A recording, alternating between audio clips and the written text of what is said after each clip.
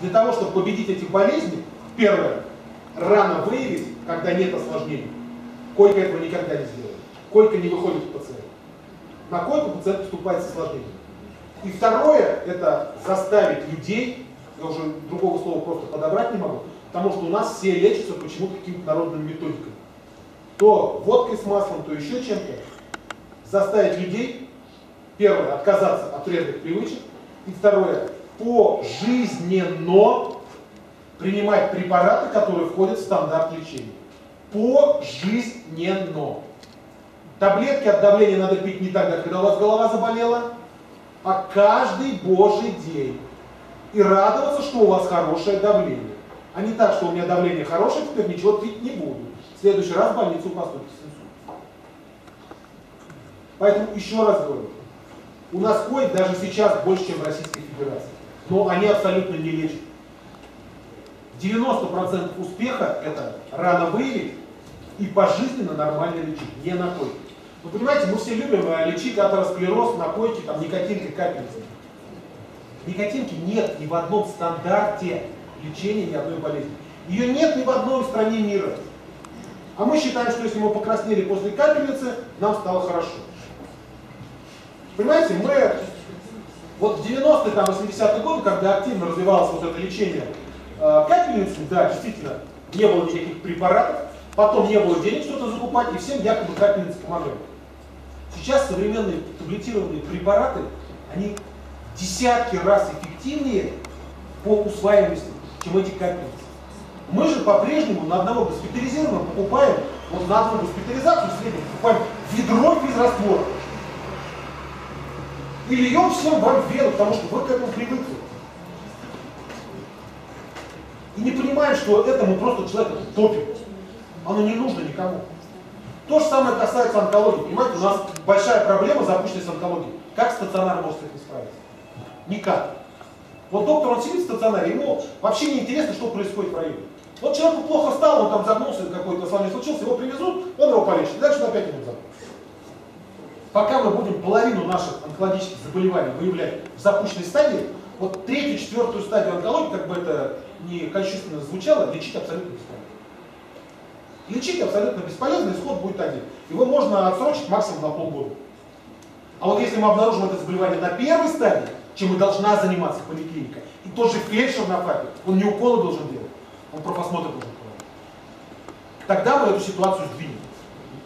Пока мы не справимся с проблемой алкоголизации населения. Вы понимаете, у нас э, мы отслеживаем смерть трудоспособных жителей. У нас доходит до того, что вот я помню один из случаев Белохлунинского района, э, когда 30-летний молодой человек на фоне 7-дневного запоя, а он страдал сахарным диабетом, не принимал 7 дней инсулин. Он погиб. Он просто погиб. Вот с этими-то надо бороться. Причем тут койки? Койки, они должны быть на, направлены не на то, чтобы полежать, покапаться, а на то, чтобы реально лечить. Да, меня вопрос к департаменту. Значит, э, первое. При реконструкции нашей больницы э, вы с прокуратурой настаивали на том, чтобы был в поликлинике установлен лифт. И это было прописано в проекте. Но когда реально значит, работы велись, значит, все это убрали и якобы по инициативе департамента. Вот это первое. Второе. Э, очень трудно было попасть э, специалистам области. Вот было несколько таких обращений, значит, ну, заявлений ко мне и прочее. Значит, чтобы записаться, допустим, кардиохирургу, приходят в этот э, раз, говорят, в следующий раз приходите, в следующий раз приходите. И так раз пять, и все, нет места.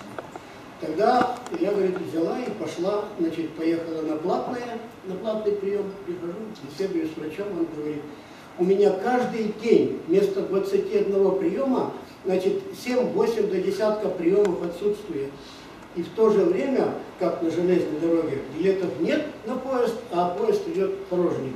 Значит, вот этот вопрос, видимо, как-то он решаться не совсем правильно. То ли тут компьютерная значит, программа виновата, то ли еще что-то. Но вот такие казусы бывают. Ваше имя, отчество? Валентин Никифорович.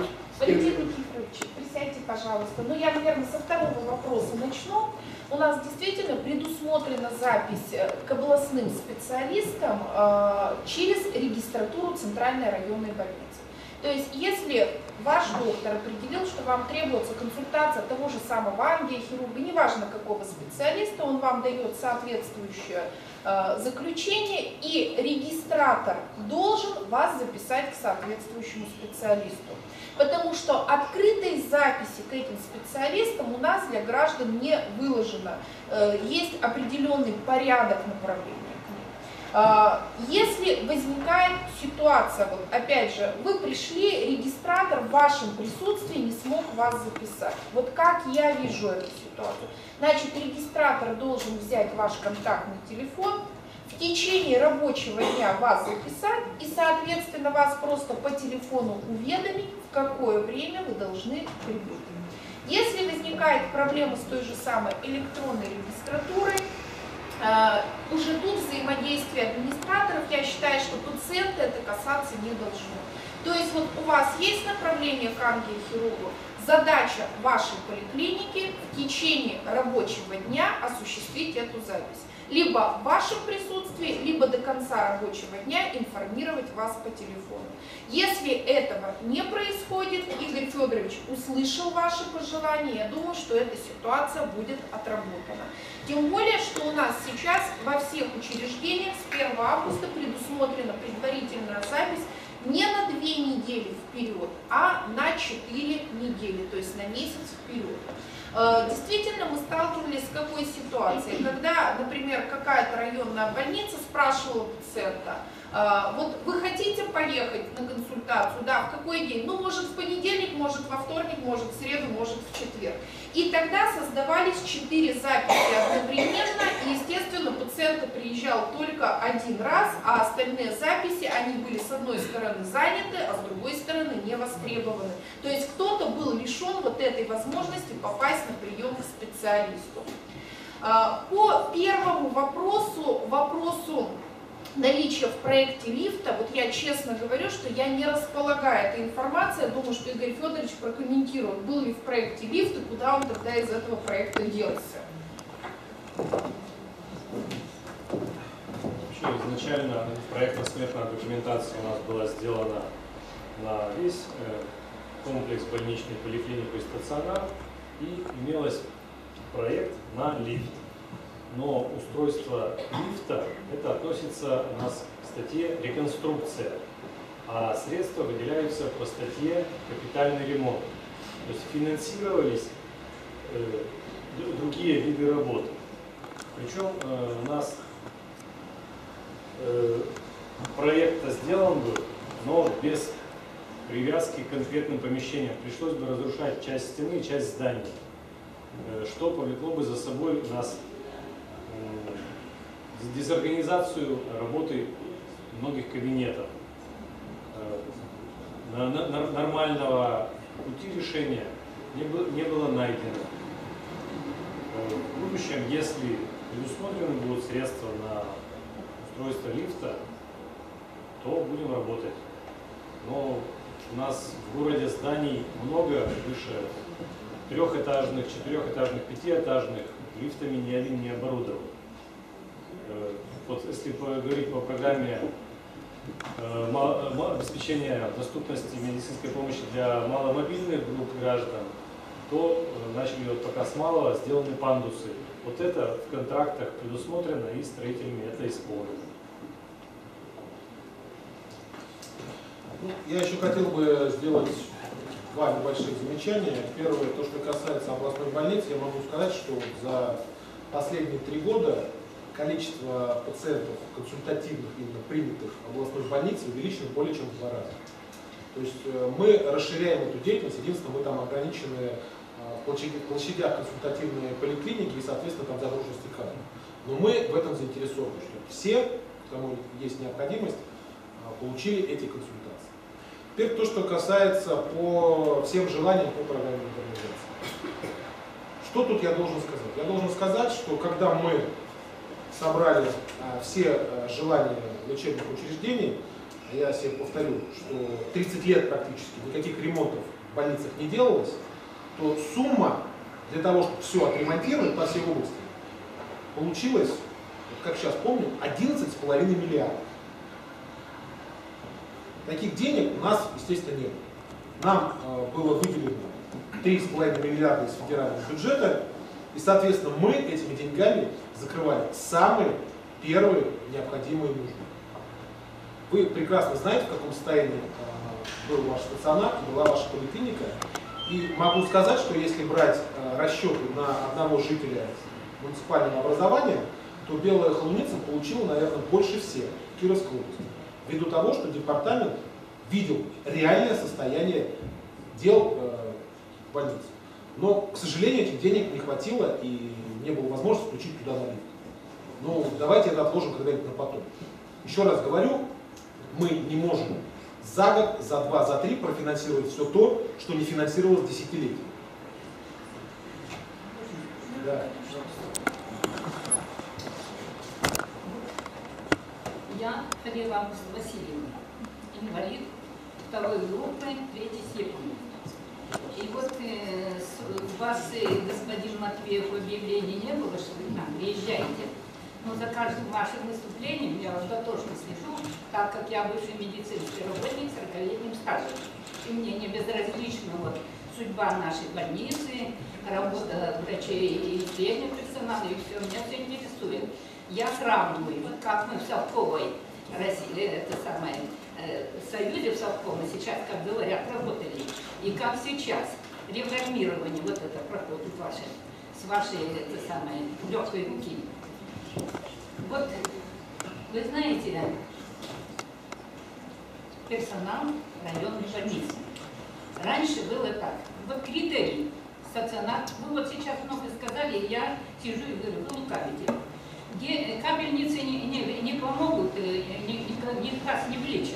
Тот у вас не вылечит, но снимает. Есть гипертония, которая хроническая, но есть и гипертонический криз, состояние такое.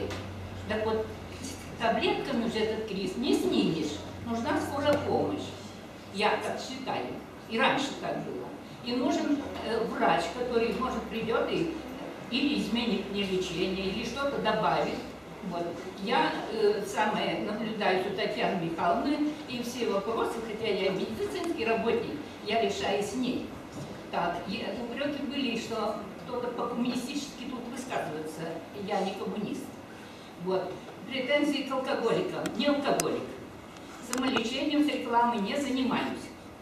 Но при теперешнем реформировании, вот как я наблюдаю, медицинскому персоналу, начну с врачей. Вот вы говорите, отказались от лекарства, э, чтобы положить в карман 500 рублей в месяц. Я, например, на, трачу в это самое 10 раз больше в месяц, чем на 500 рублей, имея всякие болячки. Я не считаю, что вылечит мою хроническую болезнь, не считаю этим. Я не звоню в это самое, чтобы мне зажгли свет или что-то. Есть такие случаи, я согласна с вами. Вот. Но вот лекарство это по бесплатному. Один месяц перейдет из Испании, второй месяц идет из Франции, третий месяц еще оттуда. Аналоги. Что делать врачу? Она же выписывает то, что есть. Вот назначили, вот один к одному я месяц пропила, лечилась, вот пришло второе. Лекарство это вроде бы мне подошло. Нет этого, аналоги выписали. Я просыпаюсь ночью, у меня полный рот, у меня разбухли, все развернулись губы, э, это самое, э, полный рот у меня языка, я задыхаюсь. Хорошо, я медицинский работник, я сразу обратила внимание и не осталось на этой постели.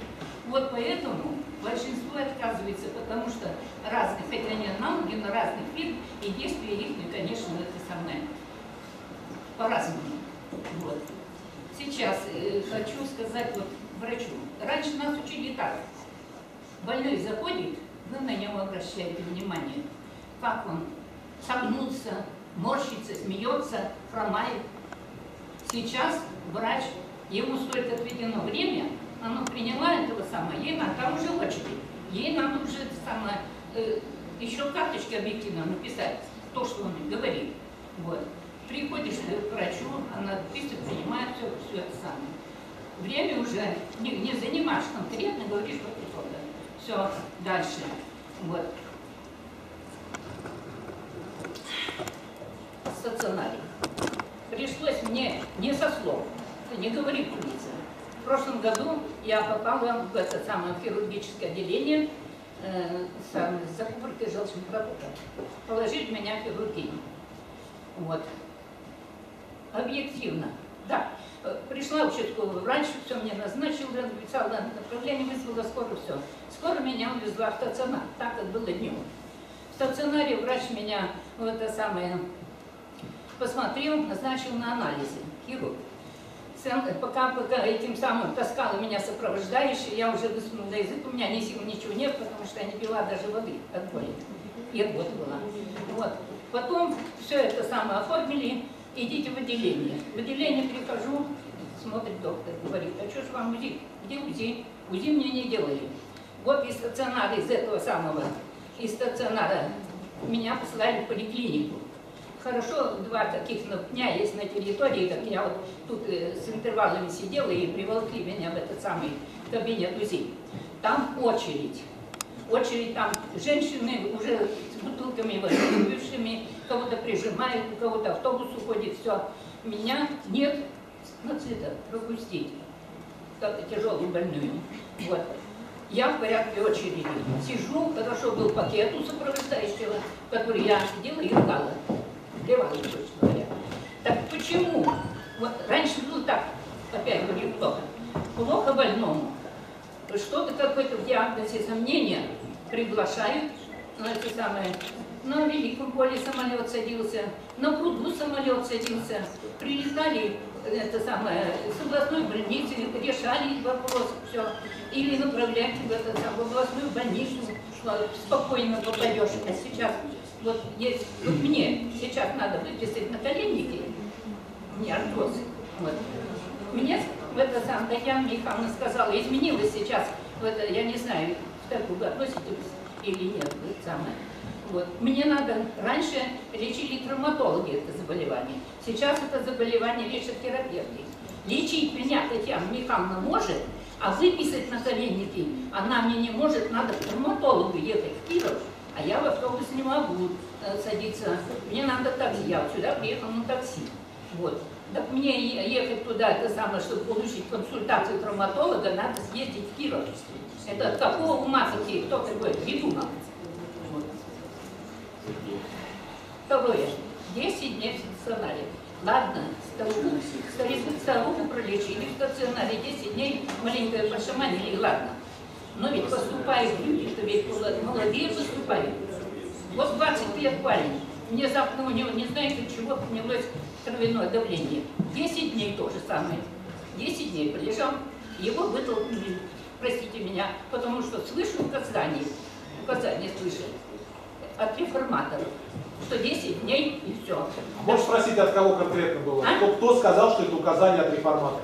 А вы посмотрите Нет, нет, историю нет, подожди, болезни. подожди, А вы подожди. посмотрите историю болезни. 10 дней, все, 10 дней, все, 10 дней, все. Кто Вы посмотрите. конкретно сказал, что указание Вы посмотрите, вы. Вот все, сколько я знаю, кто лежит в стационаре, родственников навещала, в это самое, и, и сама один раз лежала 10 дней. О чем вы говорите? Так, сейчас, вот в это, еще. Мы все сидим, вас слушать будем, как какими вы болезнями болеете. Ну, Не надо. Ну, Один раз можно Вы- Нет, вы, выслушать. Я не пожалуйста, вам пришла. вы встретитесь и, пожалуйста, мы почему? вас Я не. Я первый раз, я я не знала, что приедет Матвей. Вот пришла к Ну, другому человеку. А почему я не должна? Кто мне? Почему я не должна сказать? Давайте я как бы начну отвечать, а то я забуду некоторые вопросы, которые вы подняли. Можно не отвечать тоже начну, нет? Так, и еще поскольку, вот э, вы говорите персонал, вот сейчас вот год, вот это сам конец года будет, все у вас будут за, за отчет, годовой отчет. Есть статисты, пусть они работают. Врач должен лечить, врач не должен считать деньги, он должен получать достойную зарплату, он должен, э, у него условия, которые должны быть, как у человека. Вот в первую очередь должно, это надо спрашивать. И третье, сейчас вот у вас в это самое распоряжается главный врач вот этим бюджетом, кому дать 100 премий, кому там 10. А почему это самое? Почему врач? Ведь он не объективен может быть, главный врач. Вот были ставки стаж, образование, категория и все. А сейчас ведь коллектив-то, вы посмотрите, раньше коллектив спаянный был, все. А сейчас только считать деньги. Кого-то обидели, кому-то по труду считают, что незаслуженно, я тружусь, все. И третье, исчезла должность в больнице нянечки. Нянечки исчезла должность в больнице. Опять-таки это с вашей реформированием. Это только реформаторы. Можно отвечать? Вот. Еще это самое. Не надо, не надо, послушайте, ничего. Попозже уедете. Давно его- просто я как бы беспокоюсь, что не все а задают хоть раз проверили, когда получали мягкий инвентарь больница? Вот я когда получил, поступила в хирургию. Вот мне принесли, положили полтора матраса. Видя мою комплекцию, и там сетка, я лежала на полу. Первую ночь. Вот. Спрашиваю, ну найдите, может быть, что-то есть. Щит.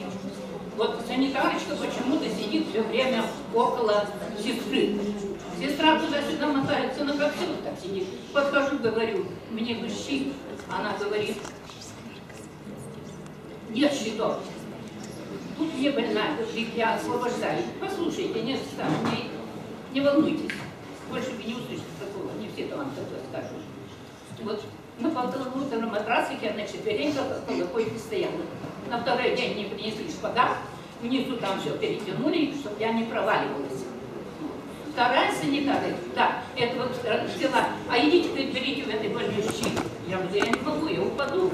Вот, она принесла щит, как грохнула, и все. И опять села на это же место. Почему исчезла? Умывание, подмывание, уход какой-то. Ведь не все могут приехать, не все здесь живут, которые лежат здесь из района, а если в область отправят. Вот. И третье, у меня просьба, вот, онкологов.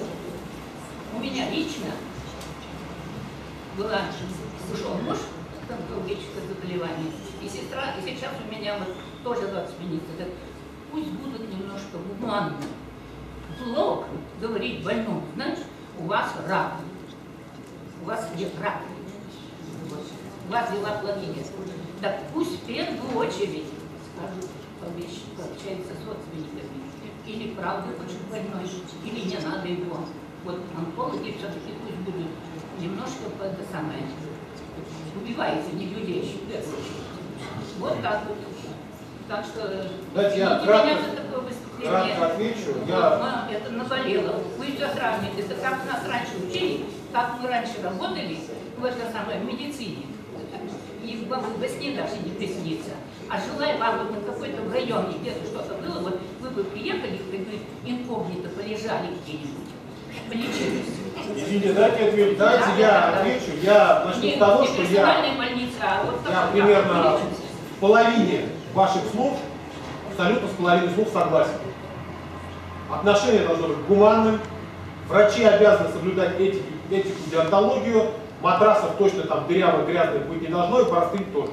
Это мы вот обсуждали целый час с нашими медицинскими работниками. А, еще минуточку. Вот, Ну, Я вас не перебивал. Не, не, не, извините, я, я забыла, я забыла. Вот э, бесплатные услуги, есть ведь бесплатные услуги. Так вот они, что крупным шифром были напечатаны вот поликлинике где-то, а то вот так напечатано что-то, и там Бог поймет, где что. И вот, вот крупными, чтобы пришла слепая чтобы прочитала, что я имею бесплатное. Или в прессе вы это самое, в газете нашей напечатали. Я бы не пришла, не стала бы предъявлять какие-то услуги. Александр Илья, можно, можно немножко вклинюсь в ваш разговор? Я все-таки так и не услышал. Вы 10 дней лежали в хирургическом отделении, вам операцию сделали или нет? Меня направили в Киров. А, ну все, все, спасибо. Мне сделал... Давайте я, как бы еще раз говорю, я с половиной ваших высказаний абсолютно согласен.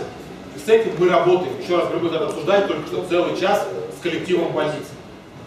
Но я с некоторым категорически не согласен. Первое. Никаких указаний о том, что держать 10 дней и все, нет, не было и никогда не будет. Каждый пациент должен быть госпитализирован ровно настолько, сколько нужно для того, чтобы вылечить это заболевание, либо снять обострение. При этом я хочу сказать, что технологии на месте не стоят. И то, что раньше, может быть, требовало лечения 21 день, сейчас можно вылечить за 5, 6, 7 дней.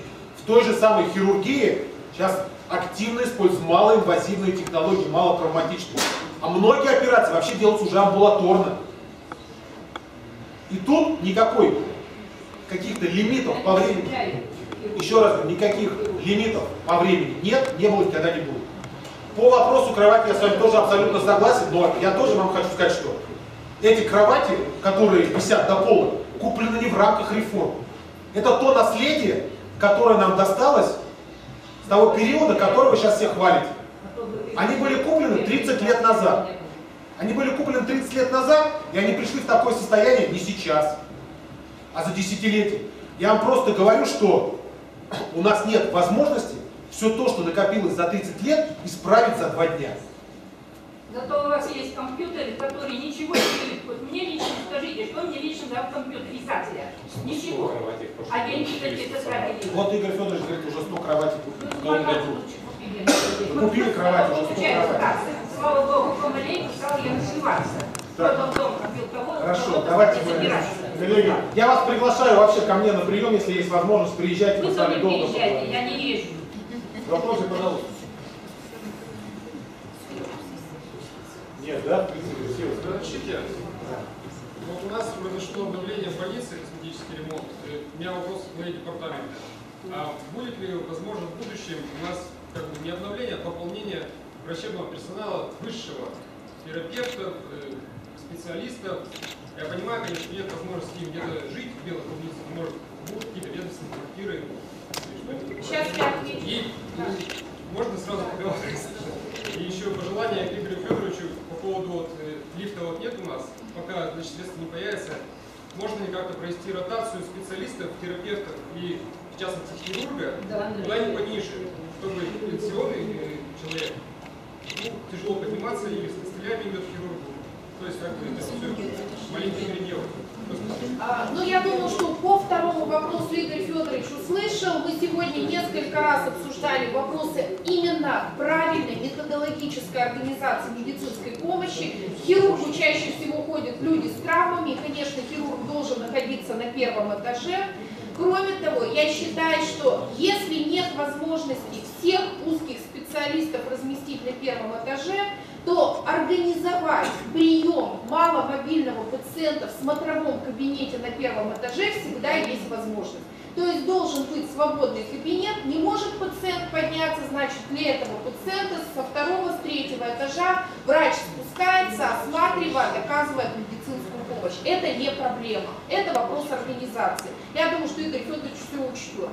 По первому вопросу, вот уже Игорь Федорович сказал, что вопрос привлечения специалистов достаточно сложный. Вот четыре специалиста приехали в вашу небольшую больницу в этом году. И это уже большая подвижка. Все они получили э, из областного бюджета подъемное в размере 250 тысяч рублей. Вот э, Игорь Федорович и э, Николай Юрьевич тут присутствуют. Мы четко скажем, что когда мы заканчивали институт, никаких подъемных отродясь не было, квартир не давали, зарплаты по 3-4 месяца тоже не давали, но мы остались в профессии.